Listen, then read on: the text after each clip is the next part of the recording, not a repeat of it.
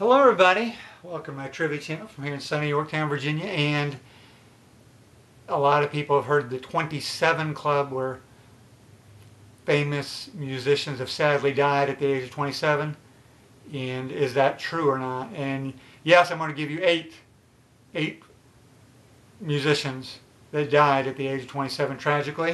Uh, 1938 Robert Johnson the legendary blues guitarist You've heard the term crossroads. Eric Clapton was a big fan of Robert Johnson. He died at age 27. Now, four musicians died.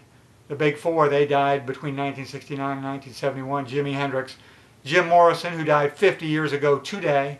Today's July 3rd, uh, 2021. He died exactly 50 years ago today. Brian Jones, who died exactly 52 years ago today.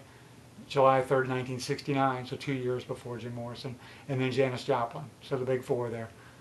Uh, Hendrix, Morrison, Joplin, Brian Jones of the Rolling Stones. So there's five. And then 1993, Mia Zapata, she was the lead singer for the Gits. Very sad, she was murdered, and there was an unsolved mystery episode that dealt with that.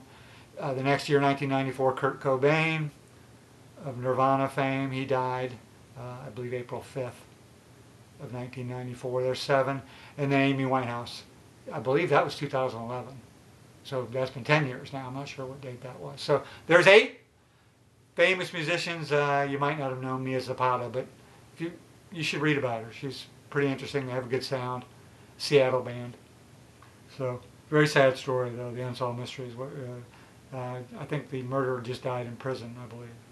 So, but Anyway, that's it. I, I thought it was interesting to go over that urban legend. It is true. And there is a list of a bunch of other musicians you might not know quite as famous, but it's a pretty long list, too. I could probably find you, you know, at least a couple more dozen, but, you know, not as famous.